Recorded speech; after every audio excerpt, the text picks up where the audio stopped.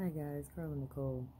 So I want to talk about something that I think we should really focus on um, after a um, breakup. You may feel like, uh, you know, your world's changed, your um, whole uh, familial structure has collapsed. Um, you now have to resort to making decisions on your own without um, having someone else's input. All of these things are very difficult to deal with. I think we, we don't want to admit it, but it's it's tough. Um, and so I want to just give you some joy to look forward to. After something ends, sometimes we feel as though there's no love that will ever surface in our heart again, or we will never experience um, a great bond with someone again, or we'll never have um, the love we want and desire in the structure we want and desire it to be. But I want to talk about how, you know, there is a point after you go through a breakup or go through um, a heartbreak that it's just it's just for right now. That does not mean that your heartbreak will be forever. And actually we can um, intentionally invite love back into our life. It's not it's not concrete. Um, just to give you something that i learned early on is that you know everything comes to an end, whether we want to admit it or not. It just does, inevitably. Um, it'll either be for life or it won't be for life. So um, we need to just know that and be okay in that.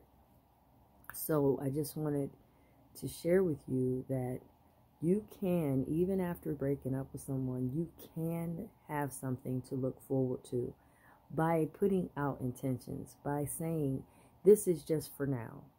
Um, and in my aloneness, in my um, singleness, let me take this time to just focus on what I need, what I want, what I desire, what I um, really um, want in a person or people to be in my life. How do I want my life to look? The reason why I say it's important that you look at visualizing and in being becoming intentional with what you want is because it's key for it showing up. You having that visual understanding of what you desire helps you to move forward and take steps towards that becoming your reality. And also understand that love and and connection and um, great sex and intimacy does not happen um, without you having um, your own self love, your own excitement about you, your own um, joy for being who you are. The more you love yourself, the more you love being in the skin you're in, the more excited you are about living and being in your purpose seriously impacts the love that you will get from someone else. There is no disconnect from that. That is what it is. You will find that, man, I have a beautiful person in my life or people in my life because of what you've done for yourself, because it's a reflection of you. So just wanted to put it out there. I know people are breaking up.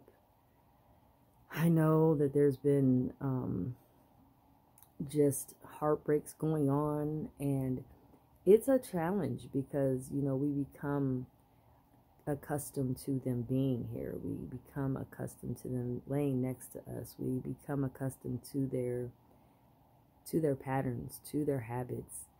And once they're gone it does shift you into trying to get comfortable in the absence of them.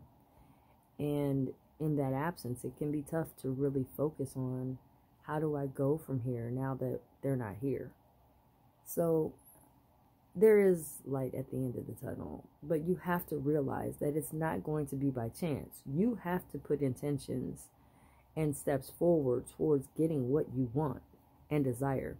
You can't assume that someone will just show up. You have to put it out there that that's what you desire. When in due time you're ready for that.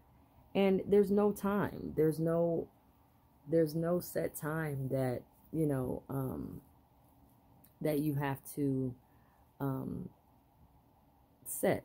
Just know when you're ready and and you want to invite someone in your life, don't hesitate to do that um, and allow that that um, connection to happen. Don't don't cut it off. Don't feel fear. Don't don't feel like I don't deserve this because you do.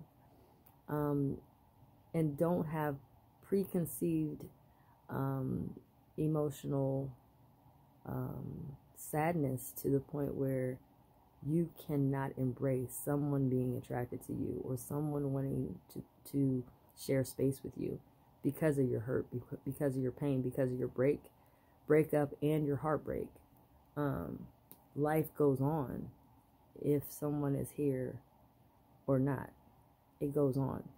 So you want to make sure that there is joy and love and connection after your breakup happens.